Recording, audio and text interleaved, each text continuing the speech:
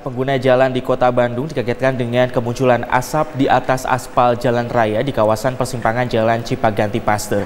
Kondisi tersebut membuat arus lalu lintas sempat tersendat dan dugaan sementara asap tebal ini berasal dari kabel yang terbakar.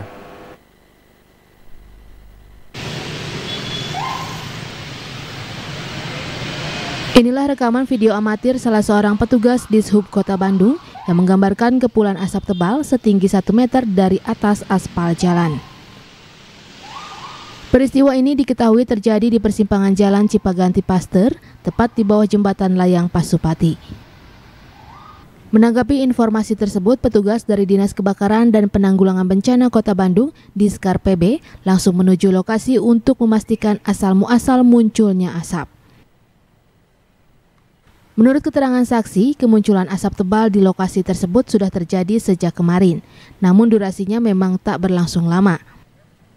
Asnya anyar, aspal itu kan yang baru, mana-mana enggak, tapi kayak asap jalan gitu.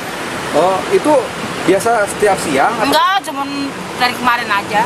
Oh, sering kayak gini tapi tiap Eh, hari? Oh, tapi cuma baru dua hari. Dua hari. Petugas Dinas Perhubungan Kota Bandung Muhammad Ramdan menyebutkan jika kepulan asap tersebut berasal dari kabel yang terbakar. Hal itu diketahui setelah pihaknya berkoordinasi dengan Diskar PB dan PLN melakukan pemeriksaan sementara. Sekitar pukul setengah 10, 9.30 pagi, tiba-tiba muncul kepulan asap sekitar 1 meter dari bawah tanah ke bawah aspal. Itu sekitar 15 menit. 15 menit keluar asap, lalu sempat padam, keluar lagi.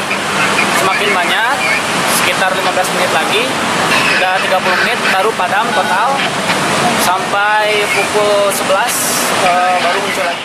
Meski tidak menimbulkan korban, namun akibat peristiwa ini arus lalu lintas di sekitaran Jalan Cipaganti Paster sempat terganggu.